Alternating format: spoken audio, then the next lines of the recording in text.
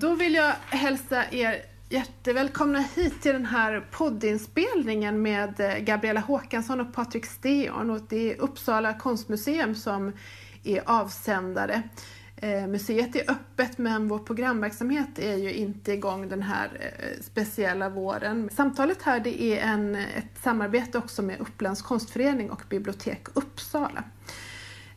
Och vi tre har samlats här idag för att vi ska samtala om eh, den könade staden eh, och utgår från eh, Maj Bring, en konstnär som vi visar just nu i stort format i en utställning som heter Detta är jag. Och vi ska följa hennes resa från att växa upp i Uppsala till att bli, bli konstnär och utbildas i, både i Sverige och i, i Paris.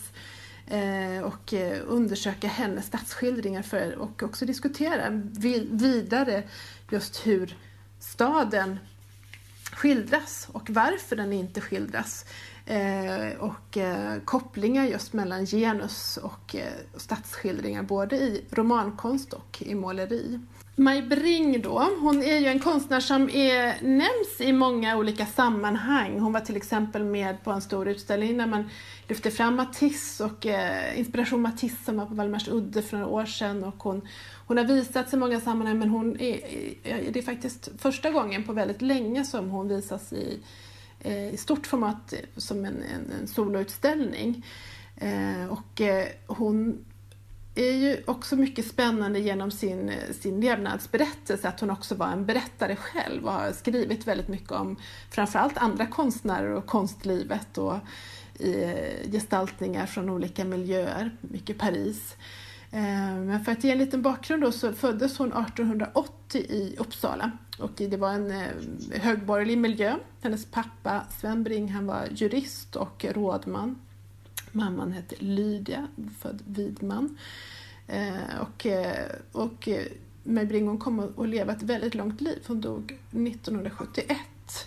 Så att hon hann uppleva verkligen modernismens genombrott i Sverige men också ja, eh, fram 60-talet i alla fall, eh, hann hon att ta del av olika konstriktningar.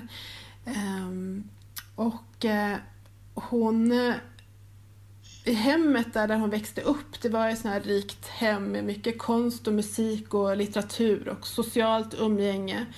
Eh, och jag tror att det verkar som att hon väldigt tidigt visste att hon inte ville leva ett, ett traditionellt borgerligt liv och gifta sig och skaffa familj utan hon sökte andra vägar och kom så småningom då in på, i Göteborg på på Valans målarskola där hon hade Carl Wilhelmsson som, som lärare och kom att studera i konstakademin också ett tag och sen så småningom åkte hon till Paris och där var hon under en tid då elev hos Matisse eh, André Matisse och eh, ett kvinnligt nätverk var liksom hela tiden väldigt viktigt för henne och hon hade också ställde ut olika konstellationer. Hon var också eh, engagerad eh, för, i föreningen Svenska konstnärinnor, drev konstskola så småningom i Stockholm. Eh, och eh, på sin ålders höst så ändrade hon sitt uttryck ganska mycket för att hon fick så nedsatt syn. Så då jobbade hon med collage och också med pärlor och paljetter och hittade ett helt, helt eget uttryck som, som eh, hon blev också mycket hyllad för, som är fantastiskt får man säga. Vi ska använda hennes konstnärskap idag kan man säga för att just prata om staden och stadsskildringar och fundera just kring vad är det man som kvinnlig konstnär skildrar, vad är det man inte skildrar, hur, vad, vilka, vilka platser och rum finns tillgängliga och eh, vad kan man läsa ut utifrån ett genusperspektiv då, utifrån de här skildringarna. Ehm, och jag tänkte börja med att fråga dig, Gabriella, den här lilla nätta frågan då, just hur kopplingen ser ut mellan just romankonstens utveckling och den moderna stadens utveckling. För att det är ju någonting som, du har ju rört dig mycket också ganska tidigt i liksom 17, tidigt 1800-tal i, i ditt, ditt arbete. Ja, romanen växte ju fram i staden på 1700-talet, i början av 1700-talet och hänger intimt ihop med staden i och med det att den redan från början skildrar stadsmiljön. Eh, den här kom samtidigt med upplysningen och en stor del av upplysningen var ju tilltron till empirin. Alltså att man nu kunde hämta kunskap genom det man såg och upplevde i verkligheten. Och det här gjorde att den nya genren romanen också blev en slags kunskapsform där läsaren kunde hämta in kunskap om saker som de kanske inte själva varit med om. Till exempel kunde de då besöka storstäderna London, Paris och New York eh, genom att läsa. Och det var också en, en klassresa för det var också en, ett sätt för läsaren att röra sig mellan olika klassskikt som de kanske inte kunde göra i det verkliga livet. De fick stiga in och titta på hur det såg ut i de fattigas slum. Eh, men de kunde också, eh, läsaren som vi pratar om var i första hand eh, tillhörde det borgerliga medelklassskiktet. De kunde också titta in i de rika societetssalongerna. Så att romanen var en jätteviktig Eh, stor nyhet, en, en kunskapsform. Och den skrevs eh, från början eh, till lika stora delar av kvinnor som män. Men här kommer det intressanta i det här sammanhanget och det är ju att kvinnor, överståndskvinnor som var de som skrev och målade och idkade kultur, de fick inte lov att röra sig i det offentliga rummet. Eh, de fick inte gå på gatan, de fick inte åka vagn själva. Eh, deras kläder hindrade dem från att röra sig, alltså eh, skor, klackar, klänningar. Det var farligt för kvinnor att röra sig i staden själv. Våldtäkt var till exempel inte något brott man kunde bli dömd för. Ehm, och överlag så ansågs det ju fullständigt opassande så kvinnor höll sig inomhus, både de skrivande och målande kvinnorna. Och det vi ser i deras konst och litteratur är ju just då skildringar från inomhusmiljöer. De eh, rörde sig också i de riktningar som de kunde. Alltså de målade antika allegorier, de skrev gotiska romaner som ju var ren fantasi, för det var domäner där de kunde röra sig. Eh, men det här ledde också till att det kvinnliga skrivandet inte fick lika hög status som det manliga eftersom kvinnor då inte kunde vara med och skildra staden som var en av de former som gav mest status inom romanskrivandet och som fortfarande gör det. Det här är en väldigt seglivad tradition som inte bröts förrän 200 år senare och det är därför jag, jag pratar om det här. Därför att Maj Bring när hon åkte till Paris och eh, började måla stadsskildringar, då är hon ju i stort sett den första kvinnliga generationen som bryter den här seglivade traditionen av att staden bara får och kan skildras av män. Det sker parallellt med att Eh, författare, författarna, de kvinnliga författarna också stiger ut och arbetar journalistiskt och i romangenre att skildra staden. Eh, och därför är det väldigt spännande att titta på hur Maj Bring målar staden. Vilka motiv väljer hon, vilka perspektiv, vilka vinklar? Ja, Maj Bring hon var ju också, alltså hon kom ju från en borgerlig miljö då så att det liksom hade hela det här paketet med en massa föreställningar om hur man skulle upp, uppträda som fin, fin dam fanns ju med liksom i hennes i, i bak, bakgrunden. Eh, det finns mycket här att eh, fortsätta och, och diskutera utav det du har sagt eh, Gabriel, men jag tänkte vi skulle eh, kasta oss tillbaka lite till just eh, det här med utbildningsfrågor och just det här med eh, kvinnliga studenter, vad de kunde göra och inte göra. Och, eh, där är det ju väldigt eh, påtagligt då att när Mabring hon, hon började studera i Göteborg då med Carl Wilhelmsson som lärare som var väldigt, eh, hade en väldigt ny syn på pedagogik kanske man kan säga. Han ville liksom hitta eh, det unika hos varje elev och han hade också klasser där både män och kvinnor fick studera tillsammans vilket ju var lite, lite anmärkningsvärt och, och det var ju år 1900, 1900 till 1901 gick hon där. Eh, men sen kom hon till Konstakademin i Stockholm. Och Patrik, du har, jag tror att du har en hel del eh, insyn i liksom hur utbildningen såg ut där i början på 1900-talet. Konstakademin i Stockholm var ju en av de första akademierna i Europa som öppnade utbildning för kvinnor.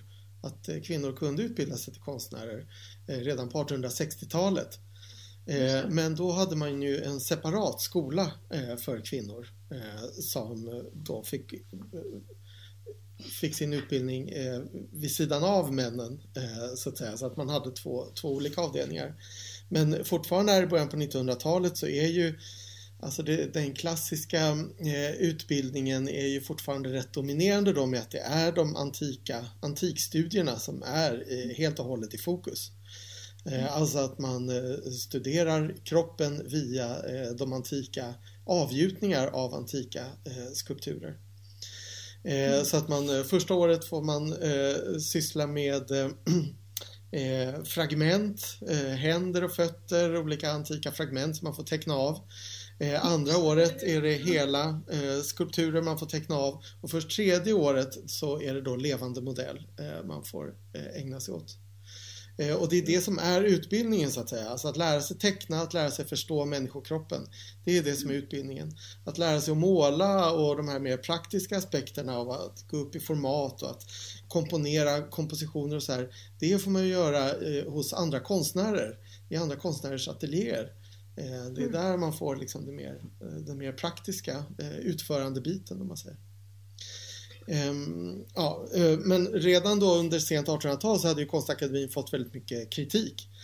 Mm. Framförallt då från eh, det här konstnärsförbundet. Den här sammanslutningen av konstnärer som också kallade sig för opponenterna.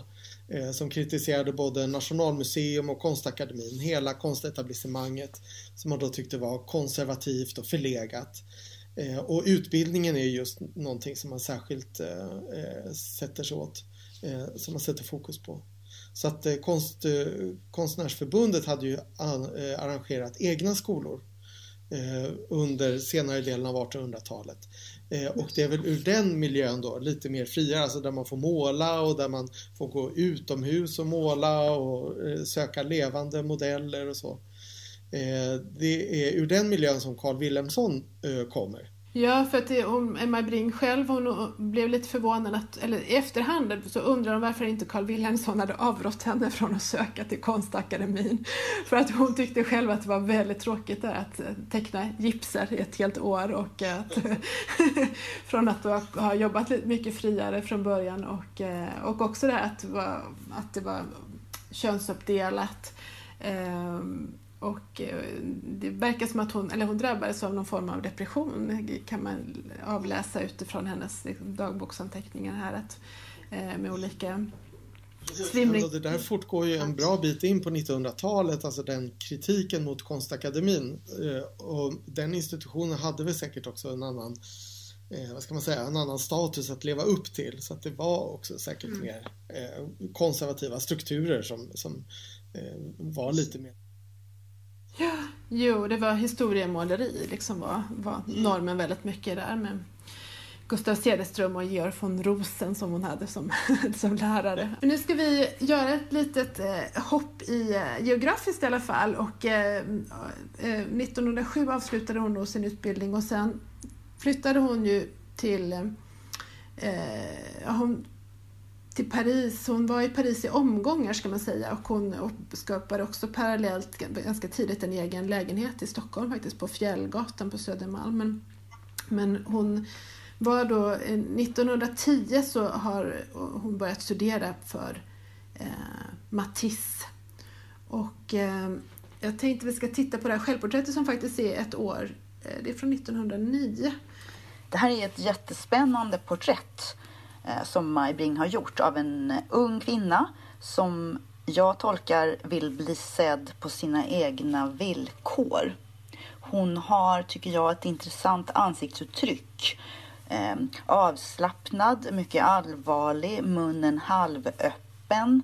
Eh, jag tänker att det är en kvinna som vill bli tagen på allvar. Eh, jag, jag, tycker att hon ser ut lite sådär som eh, man själv gör när man osminkad ser sig själv i spegeln på morgonen och tänker att eh, jaha, eh, det här är jag.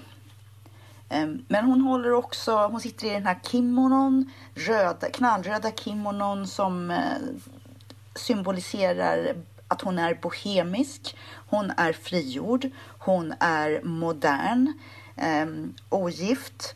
Eh, hon sitter i sin ateljé och hon håller eh, sina penslar i ett stadigt grepp i handen.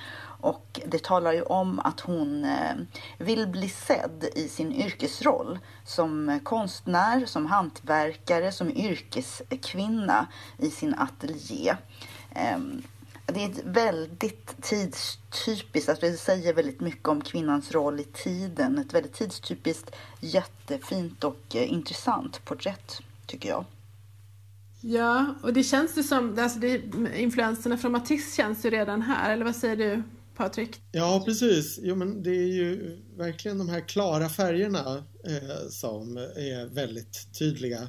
Eh, både den här röda eh, kimonon, den här rocken som hon har på sig och så, som du säger också Rebecka här med att, eh, att skuggorna är färgade. Alltså det är gröna toner, det är blåa toner och det är det som gör att bakgrunden också blir lite svår att urskilja. Att skuggorna också har egna färger, egna valörer.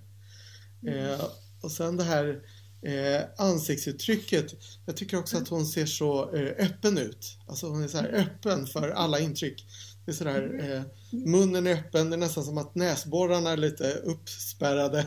Ögonen är öppna, alltså öronen visas till och med. Alltså hon är Eh, Eh, hon är väldigt öppen mot eh, sin omvärld. Ja, och det, det, att hon var öppen det finns ju också väldigt um, fint beskrivet. Uh, många, många skildringar från Paris men också inte minst när hon besökte Gertrude Stein och hennes eh, konstsamling fick hon ju se eh, med Cézannes Stilleben-måleri till exempel och hon beskriver det som att hon blev eh, sjösjuk. Att det var som att, när man landar med ett flygplan och, och, och eh, landskapet reser sig upp framför ens, ens ögon. Så det här liksom kubistiska inslaget med, med att eh, jobba med, med eh, vinklar på ett helt nytt sätt. Det var någonting som hon liksom kände fysiskt i, i kroppen. Så att hon, hon tog nog väldigt mycket intryck men, men också liksom, ja.